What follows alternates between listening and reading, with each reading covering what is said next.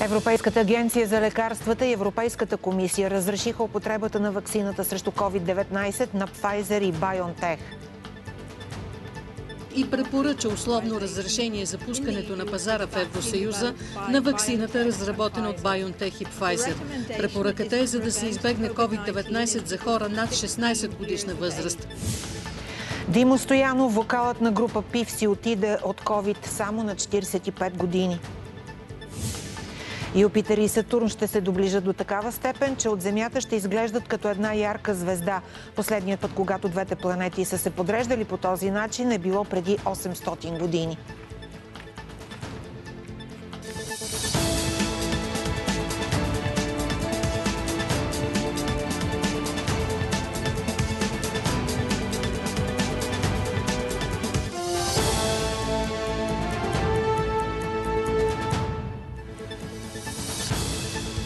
Късните новини започват. Добър вечер. Европейската агенция за лекарствата и Европейската комисия разрешиха за употреба на първата вакцина срещу COVID-19. Тя е съвместна разработка на Pfizer и BioNTech и е предназначена за хора над 16 години. Вакцината ще трябва да се инжектира два пъти с интервал между двете дози от поне 21 дни.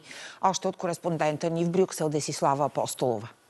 След одобрението от страна на Европейската агенция по лекарствата и на Еврокомисията, първите пратки от ваксината на Pfizer и BioNTech ще потеглят още през следващите дни от Белгия, където тя се произвежда към всички останали държави членки.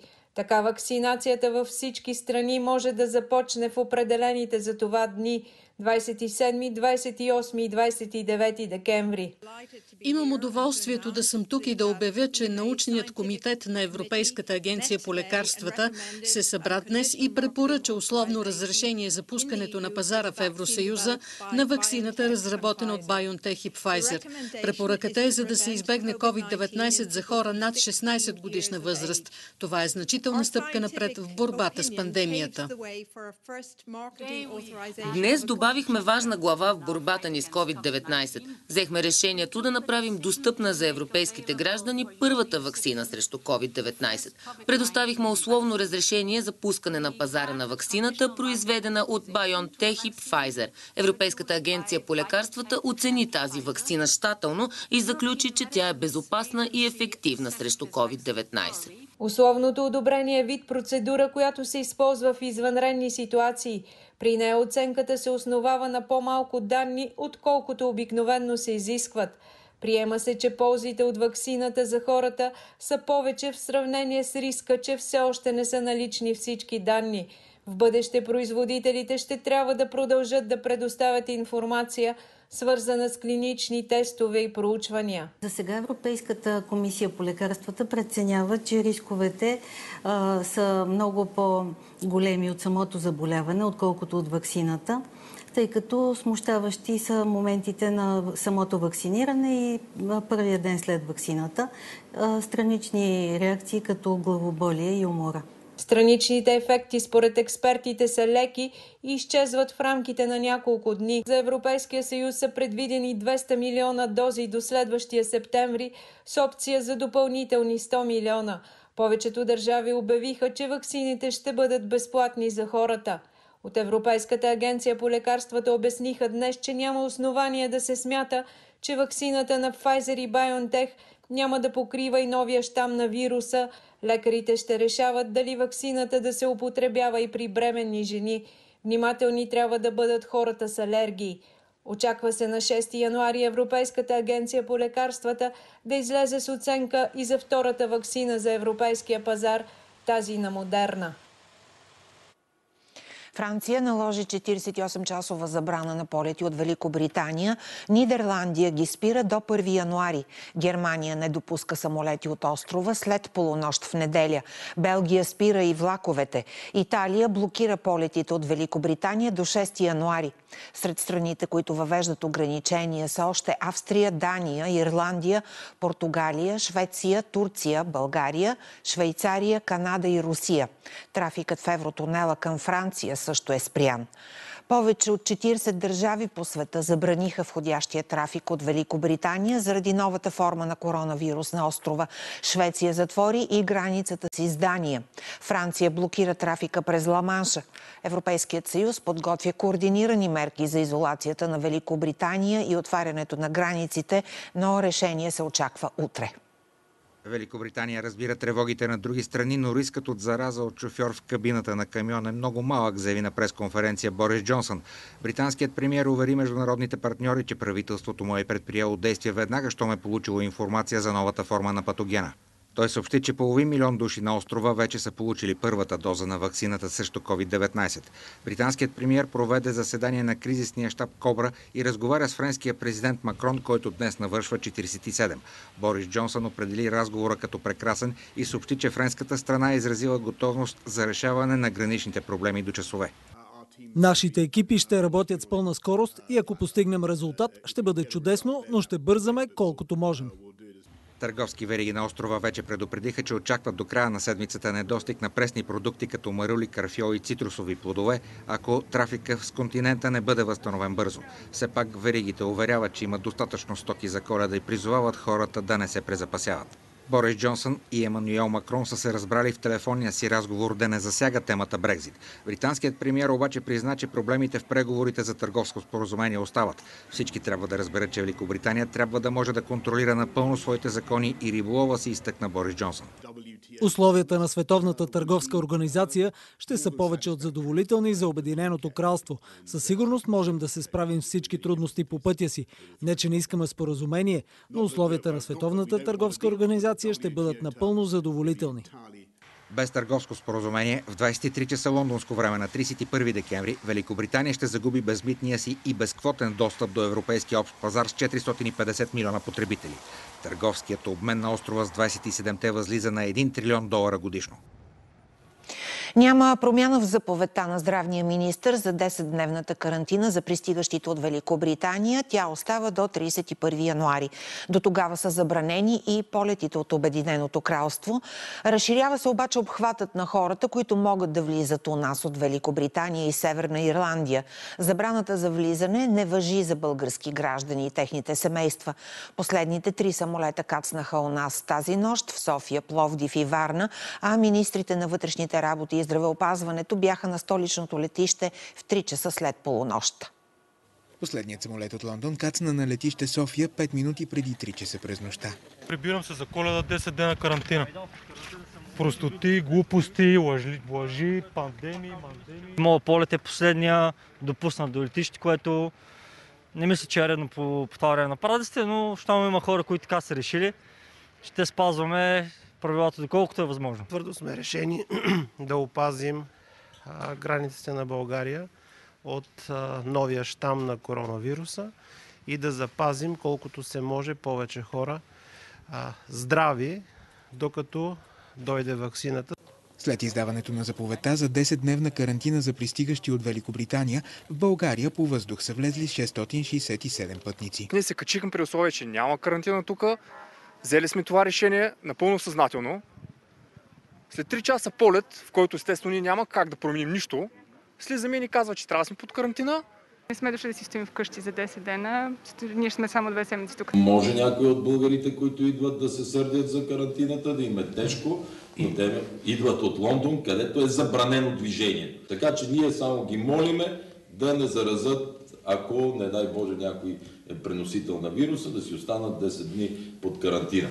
Сухопътните и морските граници също са затворени за пристигащи от Великобритания. Изключение ще се прави само за български граждани. Гранична полиция ще направи съответните проверки в информационните масиви и ще установява факти и обстоятелства относно движението на всеки един, който влиза в страната. На работно съвещание с премиера външният министр обясни, че към момента няма бедстващи българи в Великобритания. Имаме сигнал за четири ученици, които са отишли там, за да могат да се регистрират преди 1 януари следващата Добре, година. посолството, нали е Така че посолството е на разположение, готови поеме? сме, имаме организация да, да поемем, връзка сме с тях. Ако има общо европейско решение, мерките въведени вчера може да отпаднат преди 31 януари. Това означава, че се ограничава пристигащите полети от Великобритания и Северна Ирландия, а не заминаващите от български летища на там. Не се ограничават карго полети, не се ограничават хуманитарни полети, не се ограничават медицински полети. Ден по-рано да се окаже, че този вирус не е това, за което се говори, веднага ще освободиме, ние сме направили до 31 януари, за да се предпазим от това, че през ден и през два променяме заповеди. Борисов разпореди да не се допускат опашки от тирове по сухопътните граници. Полицейски патрули довеждат, стоварват, връщат се или минават транзитно, заминават. Да не се струпват на КПП-тата. В Великобритания има български камиони, които не могат да се приберат, защото Франция е затворила и сухопътните граници. Транспортният министр е поискал от френския си колега за тях да бъде осигурен транзитен коридор. Димо Стоянов, вокалът на група ПИВ си отида от COVID. След акция за даряване на плазма преди две седмици състоянието му беше стабилизирано, но Димо не успя да пребори болестта. Отиде си само на 45 години. Приказка, а някой кара колело, пътуване, невидимо дете, вали. С Димо от пив. Музиката и сцената винаги са го обичали и той никога не ги изоставя. Казва, на сцената се чувствам като у дома си, това е моята професия, това съм учил, да бъда ощастливител. И успя с всички песни, които преживява като лична изповед и принципа да не се взимаш на сериозно. Безличен човече не искаш да си, пак единствен си оставаш 1992 заедно с Иван Велков събират група, която по-късно ще се превърне в емблематичната ПИВ. През 2000-та издават дебютния си албум с хитове, които ще припяват малки и големи. А концертите им винаги се превръщат в истински спектакли. Кой ражда се пак с зората, кой прибира сутрин звездите. Димо не забравя и другата си страст и актьорско образование и подарява на почитателите си моноспектакъла «Кой прибира сутрин звездите», създаден по текст на песен. Пише музика за театрални спектакли. В края на ноември обяви, че още малко остава до завършването на албума ПИП 6. 10 песни, 10 магични места. С Богом, Димо, аплодисменти и поклон. Защо боли, нали мечти? Мъж, облечен като жена, е ударил си умрука в главата доктор Десислава Кателиева от Центъра за спешна помощ във Варна. За инцидента съобщи самата тя в профила си във Фейсбук. Лекарката, която е председател на Националната асоциация на работещите в спешната помощ, е нападната от роднина на пациент. От пациентски организации заедно с теб разпространиха позиция, в която посочват, че се срамуват от унижението, на което са подложени битите медици и че очакват от здравния министр данни колко са нападенията на медици за последните три години и колко са наказаните. Задържаха близо 11 кг амфетамин на митнически пункт Малко Търново. Веществото се е намирало в автомобил с българска регистрация. Шофьорът е български гражданин, роден в Ливан. При огледа на автомобила граничните полицаи забелязали неестествени кухини отдолу на купето. Под една от седалките са намерени 13 пакета с амфетамин на обща стойност 320 хиляди лева. Шофьорът е задържан, обвинен е в контрабандно пренасене на наркотици. Двама трафиканти бяха признати за виновни за убийството на 39 виетнамци, които се задушиха в хладилен камион на път за Великобритания. Жертвите са на възраст между 15 и 44 години. Трагедията потресе острова и Виетнам и хвърли светлина върху незаконния бизнес за трансфер на бедни мигранти от Азия, Африка и Близкия изток към богатия Запад. Признатите за виновни са 24 годишен шофьор на камион от Северна Ирландия и 43 годишен британец от Есекс. Присъдата срещу тях ще бъде произнесена на по-късна дата.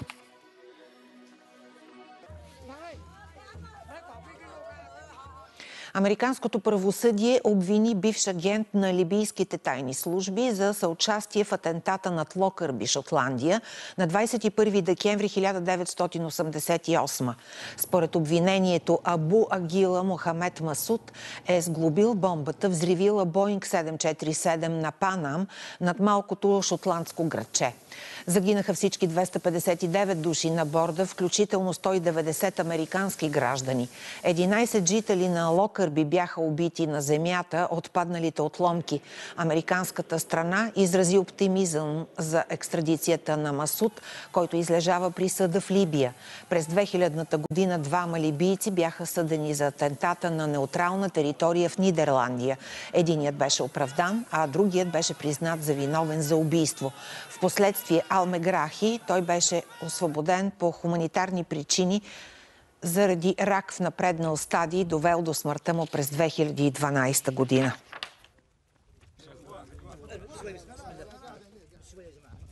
В Американския конгрес се споразумяха за нов спасителен пакет за справяне с коронакризата. Одобрени са средства на стойност 900 милиарда долара. В тях се включват помощи за малкия бизнес и за плащане на найемите, както и стимул от 600 долара за повечето американски граждани и добавка от 300 долара към седмичната помощ за безработица. Очаква се гласуването в двете камери на Конгреса да стане днес.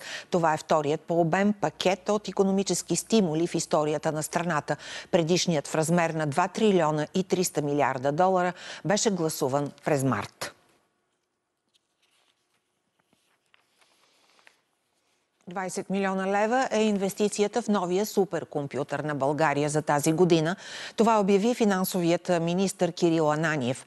В средносрочен план правителството планира да отделя по още 3 милиона и 800 хиляди лева на година за дейността на съоръжението. По време на съвместната инспекция на строителството на сградата на суперкомпютъра в София Техпарк, столичният кмет Йорданка Фандъкова обяви и че в района ще бъде изградена нова улица. Аз съм убеден, че изграждането на суперкомпютъра ще превърне България в един дигитален хъб за целия регион на Европа. С този обект се дава възможност да се направи альтернативата улица, нова улица, изцяло нова улица, успоредна на Цариградско шосе, улица Северна, с дължина около 900 метра и едновременно с това нов участък и разширение на а, още една улица, която ще свързва целият този комплекс с Цариградско шосе. Юпитер и Сатурн са най-близо една до друга от 800 години насам. Уникалното астрономическо явление може да се наблюдава от 18 часа днес. Двете планети се доближиха до такава степен, че от Земята изглеждат като една ярка звезда. Астрономите поддържат тезата, че Витлемската звезда е едно такова сливане на две планети. Следващото приближаване на Юпитер и Сатурн ще се случи през 2080 година. Ефектното сближаване на Юпитер и Сатурн няма научна стойност, но пък е много красиво. Затова представлява интерес за всеки астроном, който разполага с телескоп и ясна гледка към небето. Защото тогава те ще могат да се забележат в рамките на зрителното поле на телескопа. И всъщност вие ще можете да гледате едновременно и пръстените на Сатурн, и спътниците на Юпитер, примерно което наистина вече е доста рядко нещо. Всъщност в момента разстоянието между тях видимото разстояние между тях е около 4 пъти по-малко, отколкото видимия диаметър на Луната. Навсякъде питат това как ще ни повлияе на живота, как ще повлияе на съдбата, дали няма да ни боли глава от това, че са се съединили Юпитер с Сатурн. Не, разбира се, по никакъв начин. Както сами се сещате, те само изглеждат да са толкова близко една до друга на небето. Истината е, че двете планети са на стотици милиони километри една от друга. И по никакъв начин това, че са застанали на една права линия с Земята, защото това де-факто се случва, няма да даде някакво отражение върху нашия живот. В миналото хората са си обяснявали повечето редки явления с мистични сили, извънземни и други ненаучни теории. Най-вероятно, именно заради сливането на планети е измислена чудната коледна витлемска звезда, под която се е родил Исус. В 1623 година по времето на Галилей и Кеплер двете планети Юпитер и Сатурн отново се събират, дори са били малко по-близко, отколкото са сега, според симулация, която правим с модерен софтуер.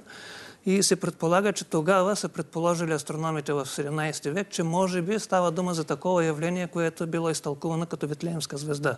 Има обаче още няколко възможности, като да кажем съединение или това е пак видимо сближаване на Венера и Юпитер. Венера и Юпитер се сближават най-често, на около две години и са най-ярки. На 13 юли пък предстои сближаване на Марс и Венера. Емисията завърши. Довиждане и лека вечер.